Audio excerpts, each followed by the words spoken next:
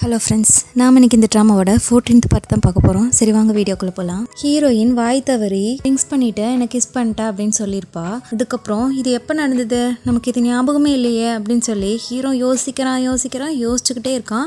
அடுத்த நாள் காலையில் எந்திரிச்சு ப்ரஷ் பண்ணும்போதும் யோசிச்சுட்டு இருக்கான். ஹீரோயின் வந்து இவன் இன்னுமா யோசிச்சுட்டு இருக்கான்? இன்னுமா ஞாபகம் வரல அப்படிங்கிற மாதிரி பார்த்துட்டு இருக்கா. அடுத்ததா துணி காய போடுற இடத்துல நின்னும் யோசிச்சுட்டு இருக்கா. அங்கே ஹீரோயின் வந்தோடனே நான் உனக்கு ஹெல்ப் பண்ணவா? அப்படின்னு கேட்குறான் ம் அதெல்லாம் ஒன்றும் வேண்டாம் அப்படின்னு சொல்லிட்டு அவள் ட்ரெஸ் எடுத்துட்டு போயிடறா அடுத்ததா சர்க்கிள் வந்து டஸ்ட் எல்லாம் கலெக்ட் பண்ணி வச்சிருக்கோம். அதெல்லாம் க்ளீன் பண்ணிட்டு இருக்கும்போது சர்க்கிள் கிட்ட பேசாம நீயாவது ரெக்கார்ட் பண்ணி வச்சிருந்தீங்கன்னா நல்லா இருக்கும் அப்படின்னு சொல்லி சொல்லிட்டு இருக்கா இது கேட்குற ஹீரோயினுக்கு கோவம் வருது. இன்னுமா ஞாபகம் வரல? ஒரு சாரி கூட கேட்கலையே அப்படின்னு கோவப்பட்டுட்டு இருக்கா ஹீரோ சும்மா இல்லாம நீ அந்த பூனைக்குட்டிய பேக்ல வச்சு ஜிப் போட்டு க்ளோஸ் பண்ணி வச்சிட்டியா? அப்படின்னு கேட்குறான் ஆ அதெல்லாம் வச்சாச்சு வச்சாச்சு அப்படிங்கிறா. இல்ல நீ மறந்துடுவியோன்னு தான் கேட்டேன் அப்படிங்கிறான் உடனே அவ திரும்பி பார்த்துட்டு ஆ நான் மறந்துடுவேன் நீ கவலைப்படுறியா? இரு ஒரு நிமிஷம் இரு உனக்கு வரேன் இரு அப்படின்னு சொல்லிட்டு போய் ட்ரிங்க்ஸ் பாட்டிலாம் எடுத்து வந்து அடுக்கி வைக்கிறா. இந்தா இதை குடி அப்படின்னு கொடுக்குவோம். என்ன இவ்வளோ காலையிலேயே என்ன குடிக்க சொல்ற? இந்தா எனக்காக குடி அப்படிங்கிறா. லேபுக்கு வேற போகணுமே அப்படிங்கிறான் அப்புறம் சரின்னு வாங்கி குடிக்கிறான். மறுபடியும் அடுத்தடுத்த பாட்டில் குடிக்க சொல்லிக்கிட்டே இருக்கா. அவனும் எவ்வளோ முடியுமோ அவ்வளோ ஃபுல்லாக குடிச்சிடறான். அதுக்கப்புறம் ஒரு பாட்டில் மீதி இருக்கு. இந்தா அப்படின்னு கொடுக்குவோம். ஐயோ இதுக்கு மேலே என்னால் குடிக்க முடியாது அப்படிங்கிறான். சரி சொல்லு இப்போவாது ஞாபகம் வந்துச்சா இல்லையா அப்படின்னு கேட்குறா இப்போவும் ஞாபகம் வரல அவனுக்கு. ஹீரோயின் க்ளோஸா பக்கத்துல வந்து ஃபேஸு காட்டுறா. இப்பதான் ஞாபகம் வருது. அதை யோசிச்சு பார்த்துக்கிட்டே மறுபடியும் க்ளோஸா வர ட்ரை பண்ணும்போது ஹீரோயின் பிடிச்சி ஒரு தள்ளு தள்ளி விட்டுட்டு ஆ இப்போவாது ஞாபகம் வந்துச்சா? அது நல்லதுதான். உனக்கு ஞாபகம் இருக்கட்டும். அப்படின்னு சொல்லிட்டு போயிடுறா. ஹீரோ ஐயோ டே கூவேயி என்னடா பண்ணி வச்சிருக்க? அப்படின்னு நினச்சி யோசிச்சுக்கிட்டே மீதி இருக்கிற அந்த ஒரு பாட்டிலையும் எடுத்து குடிச்சு முடிச்சிடுறான். இப்போ அடுத்தது லேபில் கட்டுறாங்க.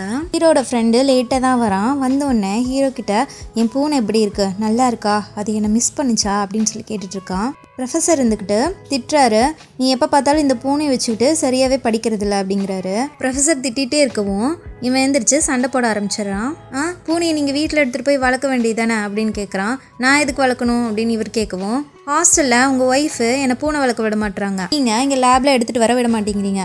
உங்களோட ஒட்டுமொத்த ஃபேமிலியே சேர்ந்து என் ஃபேமிலியை டிஸ்டர்ப் பண்ணிக்கிட்டே இருக்கீங்க. அப்- அப்படின்னு சொல்லிட்டு இருக்கான். சார் இருந்துட்டு ஏ ஏ என்னடா பேசிட்டு இருக்க நீ? சரி உட்காந்து வேலையை பாரு அப்படிங்கிறாரு. ஃபூபே நல்ல ஜாலியாக நிறைய கோல்ஸ் எல்லாம் போட்டு பேஸ்கெட் பால் நல்லா விளையாடிட்டு இருக்கான். இப்போ ஷன்ஷன் அதை வந்து பார்த்துட்டு சிரிச்சுட்டே நின்றுட்டு இருக்கா. ஆனால் அவள் வந்ததை ஃபூபே கவனிக்கவே இல்லை போல.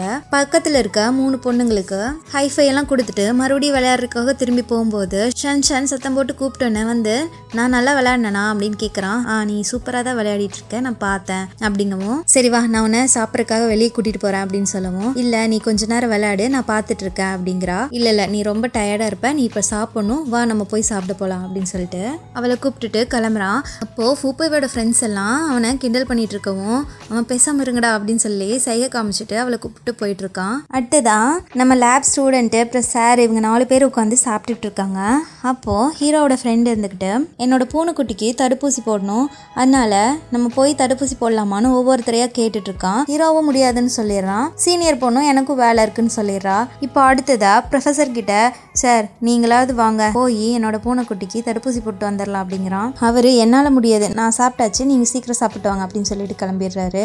அடுத்ததா நம்ம ஹீரோயின் என்ன பண்ணிக்கிட்டு இருக்கானா கூவேய்க்காக ஒரு மார்க் போடுறதுக்கான ஒரு ஷீட்டை ரெடி பண்ணிட்டு இருக்கா. அதுல ஒரு ஹண்ட்ரட் மார்க்ஸ்க்கு எல்லாம் ரெடி பண்ணி அதில் அவனுக்கு எது எது ப்ளஸ் மார்க் எது எது மைனஸ் மார்க் அப்படின்னு சொல்லி பேப்பரில் எழுதி வச்சுட்ருக்கா இருக்கா. ஹீரோ லேப்ல உட்காந்து நடந்ததெல்லாம் யோசிச்சு பார்த்துட்டு நான் உங்ககிட்ட கொஞ்சம் பேசணும்னு சொல்லி சொல்லிட்டு நான் இந்த மாதிரி ட்ரிங்க்ஸ் பண்ணிட்டு தெரியாம சித்துமோவை கிஸ் பண்ணிட்டேன். அதுக்கப்புறம் அது எனக்கு ஞாபகம் இல்லை. நான் மறந்து போயிட்டேன் அப்படிங்கிறான். ப்ரொஃபஸரும் ஹீரோட ஃப்ரெண்டும் ஆ என்னது? அப்படின்னு ஷாக் ஆகி பார்த்துட்டு இருக்காங்க.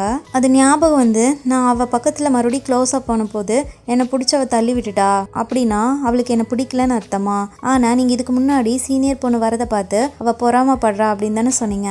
அப்படின்னா அவளுக்கு என்ன பிடிச்சிருக்குன்னு தானே அர்த்தம்? அப்படிங்கிறான். ஹீரோட ஃப்ரெண்ட் இருந்துட்டு ஆமாம் அவளுக்கு உன்னை பிடிக்கவே இல்லைன்னு நினைக்கிறேன் அப்படின்னு சொல்லி சொல்லவும் சார் இருந்துட்டு நீ பேசாமல் இருடா. ஏதாவது தப்பு தப்பா பேசிக்கிட்டு. அவளுக்கு உன்னை பிடிக்கலனா நீ பண்ண காரியத்துக்கு அப்போ அப்பாவே போலீஸுக்கு கால் பண்ணியிருப்பா அப்படிங்கிறாரு. சரி அப்படின்னா நான் வீட்டுக்கு போனோன்னே இதை பற்றி அவகிட்ட பேச போகிறேன் அப்படிங்கிறான் ஹீரோ. ஹீரோவோட ஃப்ரெண்டு இருந்துக்கிட்டு நானாக இருந்தேனா நீ பேசுகிறத நான் கேட்கவே மாட்டேன். போய் கதவை சாத்திக்குவேன் அப்படிங்கிறான். ப்ரொஃபஸர் இருந்துட்டு நம்ம சயின்டிஃபிக்காக எதுவுமே ட்ரை பண்ணல அதனால தான் நம்ம தோற்று போயிட்டே இருக்கோம் அப்படிங்கிறாரு. இப்போ இவங்க மூணு பேர் சேர்ந்து பயங்கரமாக யோசிக்கிறாங்க.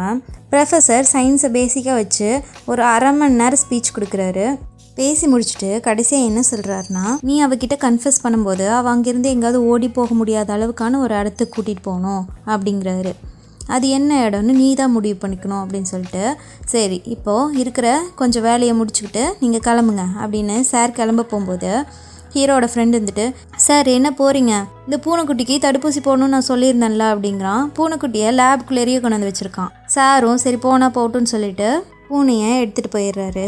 அடுத்ததா ஹீரோ ஹீரோயினோட ஆஃபீஸ்க்கே வந்து வெயிட் பண்ணிட்டு இருக்கான். ஹீரோயின் வந்து பார்த்துட்டு நீ எதுக்கு இங்கே இருக்க அப்படின்னு கேட்குவோம் நான் உன்னை வெளியே எங்காவது கூட்டிகிட்டு போகலான்னு தான் வந்தேன் அப்படிங்கிறான். எங்கே அப்படின்னா அது நீ வந்தோடனே தெரியும் அப்படிங்கிறான். இப்போது ஹீரோயினுக்கு ஃபோன் வந்தோடனே ஃபோன் பேசுறதுக்காக கையில் வச்சிருந்த புக்ஸை அவங்ககிட்ட கொடுத்துட்டு இந்த சைட் போகிறா அப்போது கீழே ஒரு பேப்பர் விழுகுது. எடுத்து பார்த்தா கூவேய்க்காக மார்க் போட்டு வச்சிருந்த ஷீட் தான். அதை அவன் பார்த்துடுறான். பார்த்து கடைசியில் கணக்கு போட்டு பார்த்தா ஹண்ட்ரட் மார்க்ஸ்க்கு மைனஸ் ஃபைவ் மார்க் தான் இவன் எடுத்திருக்கான். ஹீரோயின் வந்து சரி சொல்ல எங்கே போகிறோம் நம்ம அப்படின்னு கேட்குவோம் அதில் எழுதியிருந்தது தான் இவன் படிச்சிட்டான் இல்லையா? அதில் சாப்பிட்றதுக்கு கூட்டிகிட்டு போகிறதுக்கு இவனுக்கு மைனஸ் பாயிண்ட் இருக்கும். அதனால நான் உன்னை சாப்பிட்ற கூப்பிட்டு போகிறேன் அப்படிங்கிறான். ஹீரோயின் வந்துட்டு இல்லை எனக்கு பசியில் அதுவும் இல்லாமல் நான் இப்போ தான் டீ குடித்தேன் நான் இப்போ சாப்பிட விரும்பலை அப்படிங்கும் உன்னை வேற ஒரு இடத்துக்கு கூட்டிகிட்டு போகிறேன்னு கூப்பிட்டு வந்துட்டு இருக்கான். ரோட்டில் ஒரு பூனைக்குட்டி இருக்கு. ஹீரோயின் உன்னை அதை பார்த்து கொஞ்சிக்கிட்டு இருக்கா. ஹீரோ இந்த பூனைக்குட்டி விஷயத்துலையும் மைனஸ் பாயிண்ட் தான் எடுத்திருப்பான். பூனையை தூக்கலான்னு வரும்போது அவ ஏய் நீ என்ன பண்ணுற உனக்கு தான் அலர்ஜி இருக்குல்ல? அப்படின்னு கேட்கவும் இல்லை அதெல்லாம் எனக்கு ஒன்றும் பண்ணாதுன்னு. பூனையை தொடக்கூட கூட இல்லை. பக்கத்தில் தான் வர்றா. உடனே தும்பல ஆரம்பிச்சிருது. சரி சரி வா போகலான்னு சொல்லி ஹீரோயின் வந்து பூனைக்குட்டிக்கு பாய் சொல்லிட்டு வர்றாங்க. ஹீரோ தேவையே இல்லாமல் அவங்க ப்ரொஃபஸருக்கு ஃபோன் பண்ணி ஏதேதோ பேசிட்டு இருக்கான். நான் பூனையை தடுப்பூசி போட கூப்பிட்டு வந்திருக்கேன். நீ முதல்ல ஃபோனை வெயின்னு வச்சிடுறாரு. ஃபோனை வச்சதுக்கு அப்புறமும் இவன் பாட்டில் தனியாக ஏதேதோ பேசிட்டு இருக்கான். இதை பார்க்குற ஹீரோயின் நீ ரொம்ப பிஸியாக இருக்கேன்னு நினைக்கிறேன். நம்ம வேணா இன்னொரு நாள் வெளியே போகலாமா அப்படின்னு கேட்கவும் இல்லை வந்தாச்சு. பக்கத்தில் தான். வா போகலாம் அப்படின்னு கூட்டிகிட்டு போகிறான் ப்ரொஃபஸரு பூனைக்குட்டிக்கு தடுப்பூசி போட்டு வந்து அதுக்காக சாப்பிட்றதுக்கு நான்வெஜ் எல்லாம் கொடுத்துட்டு இருக்காரு. அதுவும் நல்லா சாப்பிட்டுக்கிட்டு இருக்கு. இப்போ ஹீரோவும் ஹீரோயினும் ரெண்டு பேரும் சேர்ந்து ஒரு பார்க்குக்கு வந்திருக்காங்க. ஹீரோயின் இதை பார்த்துட்டுன்னு ரொம்ப ஹாப்பி ஆயிட்டு நம்ம விளையாடவா வந்திருக்கோம் இங்க? அப்படின்னு சொல்லி ரொம்ப ஹாப்பி ஆகுறா. ப்ரொஃபஸர் வந்து நீ கன்ஃபியூஸ் பண்ணும்போது அவ எங்கேயும் ஓடி இருக்கக்கூடாது அந்த மாதிரியான ஒரு இடத்துக்கு கூப்பிட்டு போகணும்னு சொல்லியிருப்பாரு இல்லையா? அதுக்காக தான் இங்கே கூட்டு வந்திருக்கான். கூட்டு வந்து ஒரு கார் விளையாடுற கேமில் கொண்டு போய் உட்கார வச்சு பெல்ட் போட்டு க்ளோஸ் பண்ணி விட்டுறான். நான் உங்ககிட்ட ஒன்று சொல்லணும் அப்படின்னு சொல்லி சொல்கிறான் என்ன அப்படின்னு கேட்கவும் இன்னைக்கு காலையில் அப்படின்னு தான் சொல்லியிருப்பான். கேம் ஸ்டார்ட் ஆயிடுச்சு. வண்டியெல்லாம் ஒன்றுக்கு ஒன்று மோதிக்குது. இவங்களால அதில் உட்காரவே முடியல. ஹீரோயின் அப்பயும் என்ன என்னன்னு கேட்டுக்கிட்டே இருக்கா. ஹீரோவும் சொல்ல ட்ரை பண்ணுறான் ஆனால் முடியல. நின்றுட்டே இருந்தா எல்லாரும் வந்து இடிச்சுக்கிட்டே தான் இருப்பாங்கன்னு சொல்லிட்டு இவங்களும் விளையாட ஆரம்பிச்சிடறாங்க. ஹீரோயின் மயக்கம் போடாத ஒரு குறை தான். அப்படி ஆயிடுது ஏன்டா கூட்டு வந்து சாவடிக்கிறேங்கிற மாதிரியே உட்காந்துருக்கா குவேயி நீ உண்மையிலேயே என்ன சொல்லணும்னு நினைக்கிற? சொல்லு அப்படிங்கிறா. ஹீரோ வந்துக்கிட்டு நம்ம இன்னொரு ரவுண்டு போகலாமா அப்படின்னு சொல்லவும் ஐயையோ என்னால் முடியாது. ஆளை விட்டா போதுண்டா சாமின்னு சொல்லி எந்திரிச்சு ஓடி போயிடுறா. ஹீரோ பின்னாடியே வந்து கூப்பிட்டோன்னே சரி என்ன சொல்லணும் சொல்லு அப்படின்னு கேட்கவும் இன்னைக்கு காலையில் நான் என்ன சொல்ல நினச்சேன்னா? அப்படிங்கிறா அதுக்குள்ளே கால் வந்துடுது யாருன்னு பார்த்தா ப்ரொஃபஸர் தான் அந்த பூனைக்குட்டிக்கு ரொம்ப உடம்பு சரியில்லாமல் போயிடுச்சு போல இருக்கு. இதை ஹீரோட ஃப்ரெண்டு கிட்ட சொல்ல முடியாது இல்லையா? அதனால தான் ஹீரோவுக்கு ஃபோன் பண்ணி இந்த மாதிரி ஆயிடுச்சுன்னு சொல்லிட்டு இருக்காரு. சரி உடனே நான் வரேன்னு சொல்கிறான் இப்போ ஹீரோவும் ஹீரோயினும் சேர்ந்து ஹாஸ்பிட்டல் கிளம்பி போகிறாங்க அங்கே ப்ரொஃபஸர் ரொம்ப பதட்டமாக இருக்காரு. பூனைக்குட்டிக்கு என்னாச்சோ ஏதாச்சோன்னு சொல்லி. டாக்டர் இப்போ ஃபுல்லாக செக் பண்ணி பார்த்துட்டு பூனைக்குட்டி நல்லா தான் இருக்குது அது தடுப்பூசி போட்டனால தான் அதுக்கு லைட்டாக காய்ச்சல் இருக்குது அப்படின்னு சொல்லி சொல்கிறாரு பூனைக்குட்டியை பார்க்குறதுக்காக ஹீரோயினும் ப்ரொஃபஸர் மட்டும் உள்ளார உட்காந்து பூனைக்குட்டியை பார்த்துட்டு இருக்காங்க ஹீரோ வெளியே நின்றுட்டுருக்கான் ப்ரொஃபஸர் இருந்துட்டு ஹீரோயினை அதை டச் பண்ணாத அதை விட ரெஸ்ட் எடுக்கட்டும் அப்படிங்கிறாரு. ஹீரோயின் வந்துட்டு அதை நான் வீட்டுக்கு கூப்பிட்டு போக வேண்டாமா? அப்படிங்கவும் இல்லை அதை ரெஸ்ட் எடுக்கட்டும் அதுக்கப்புறம் நானே அதை வீட்டுக்கு கூப்பிட்டு போய்க்கிறேன் அப்படின்னு சொல்லிட்டு இருக்காரு இப்போ ஹீரோ வந்து ஹீரோயின் சட்டையை பிடிச்சி இழுக்கிறான். சார் தான் கொண்டு போய் வளர்த்திக்கிறேன்னு சொல்கிறாருல விட்டுறலாம் அப்படிங்கிற மாதிரி ஹீரோயின் முறைச்சி பார்த்தோன்னே சரி நம்ம எப்படியாவது இதில் ஸ்கோர் பண்ணணும்னு சொல்லிட்டு சார் பூனைக்குட்டியை என்கிட்ட கொடுங்க. ஃபஸ்ட்டு நான் அதை தூக்கணும் அப்படிங்கிறான். ஆ சரி சரி. இந்தா ரொம்ப அதை போட்டு அழுத்தாமல் மெதுவாக தூக்கு அப்படிங்கிறாரு. தூக்கி கையில் வச்சு அடுத்த செகண்டுக்கு தும்பல் வந்துடுது பூனை அப்படியே தூக்கி கொடுத்துட்டு வெளியே ஓடி போயிடுறான். ஹீரோயின் பார்த்துட்டு இவன் எதுக்கு இப்படியெல்லாம் பண்ணிகிட்டு இருக்கான் இவனுக்கு தான் பூனைக்குட்டினா ஆகவே ஆகாது. அப்புறம் மறுபடியும் மறுபடியும் ட்ரை பண்ணிட்டு இருக்கான்னு தெரியலையே? அப்படின்னு சொல்லி யோசிச்சுக்கிட்டே நின்றுட்டுருக்கா பூனைக்குட்டியை சார்கிட்டயே கொடுத்துட்டு இவங்க ரெண்டு பேரும் வீட்டுக்கு வந்துடுறாங்க. ஹீரோயின் டயர்டாக இருக்கிறதுனால செப்பல் கூட போடாமல் சோஃபாவில் போய் உட்காந்துடுறா. உன்னை ஹீரோ தான் அவளுக்கு செப்பல்லாம் எடுத்து கொண்டு வந்து வைக்கிறான். இப்போ அடுத்ததான் சர்க்கிள் வந்து எனக்கு பேட்டரி லோவாக போகுது அப்படின்னு சொல்லி கத்திக்கிட்டு இருக்கு. வேகமாக எழுந்திரிச்ச ஹீரோ அப்படியே ஸ்டாப் ஆயிடுறான். ஏன்னா இதுலயும் அவனுக்கு மைனஸ் ஃபைவ் மார்க் தான். அதனால பேசாம உட்காந்துடுறான் ஹீரோயின் வந்துட்டு என்ன அதுக்கு போய் சார்ஜ் போட்டு விடலையா அப்படின்னு கேட்குவோம். அது அதுவாகவே க்ரோத் ஆகட்டும் அதுவாகவே சார்ஜ் போட்டுக்கிட்டோம் அப்படிங்கிறான். உடனே ஹீரோயின் எந்திரிச்சு போய் அதுக்கு சார்ஜ் போட்டு விட்டுட்டு வரா. ஹீரோ இப்போ யோசிச்சு பார்த்துட்டு பாத்ரூம் க்ளீன் பண்ணுறதுலையும் இவனுக்கு மைனஸ் பாயிண்ட் தான் இருக்கும். அதனால ஹீரோயின் கிட்ட நீ எப்போ குளிக்க போற? நான் ஃபஸ்ட்டு போய் பாத்ரூம் க்ளீன் பண்ணிட்டு வந்துடுறேன் அப்படிங்கிறான். இதை பார்த்துட்டு என்னடா இவன் வித்தியாசமாக நடந்துட்டு இருக்கானே? அப்படின்னு யோசிச்சுட்டு இருக்கா ஹீரோயினை ஹீரோ போயிட்டு க்ளீன் பண்ணிவிட்டு வந்து ஆ நான் முடிச்சிட்டேன். நீ போய் குழி அதுக்கப்புறம் உனக்கு சாப்பிட்றதுக்காக நான் என்ன ஆர்டர் பண்ணிட்டோம்? அப்படின்னு கேட்டுட்டு திரும்பி பார்க்குறான். ஹீரோயின் நல்லா தூங்கிட்டா. இப்போது ஹீரோவே அவளை தூக்கி கொண்டு போய் பெட்டில் படுக்க வைக்கிறான். ஹீரோயின் அவனோட ரெண்டு கை மேலேயும் நல்லா ஜம்முன்னு படுத்துக்கிறா. நகரவே மாட்டேங்கிறா. ஹீரோ கையெடுக்க ட்ரை பண்ணாலும் அவனால் முடியல. இப்போது ஹீரோயினோட ஃபேஸையே பார்த்துட்டு அப்படியே கொஞ்ச நேரம் உட்காந்துடுறான் ஹீரோயின் தூங்கிக்கிட்டே இருக்கா. கொஞ்ச நேரம் கழிச்சு தான் அப்படி நகர்ந்து படுக்கிறா. ஹீரோவோட கையெல்லாம் அப்படியே ரொம்ப ஃப்ரீஸ் ஆகி ரொம்ப மறுத்து போன மாதிரி கொஞ்சம் பெயினாக தான் இருக்கு. இருந்தாலுமே கூட அது அவனோட மனசுக்கு ரொம்ப சந்தோஷத்தை தான் கொடுக்குது. அடுத்ததான் ஒரு பெட்ஷீட் எடுத்துட்டு வந்து போத்தி விட்டுறான். லைட் எல்லாம் ஆஃப் பண்ணிட்டு போயிடுறான். அடுத்த நாள் காலையில் சீக்கிரமே எழுந்திரிச்சு ஹீரோயின் நைட்டு சாப்பிடாமையே தூங்கியிருப்பா இல்லையா? அவளுக்கு ஏதாவது சமைச்சு கொடுக்கலான்னு சொல்லி கடைக்கு போய் சில திங்ஸ் எல்லாம் வாங்கிட்டு வரான்.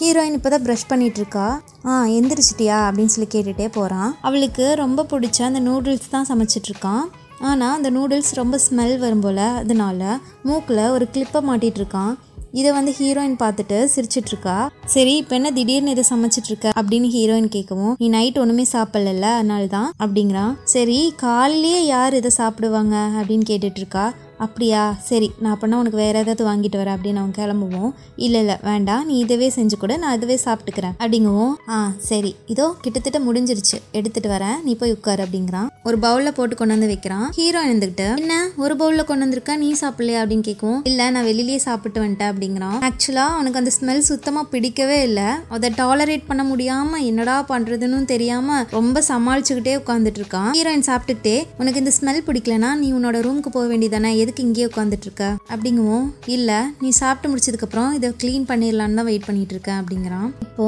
ஹீரோயின் கூவேயி உனக்கு என்னை பிடிச்சிருக்கா என்ன? அப்படின்னு கேட்குறா ஹீரோ எதுவும் சொல்லாமல் அமைதியாக அப்படியே பார்த்துட்டு இருக்கான் இந்த எபிசோட் முடியுது. நெக்ஸ்ட் எபிசோடில் என்ன ஆகுதுன்னு பார்க்கலாம். Bye friends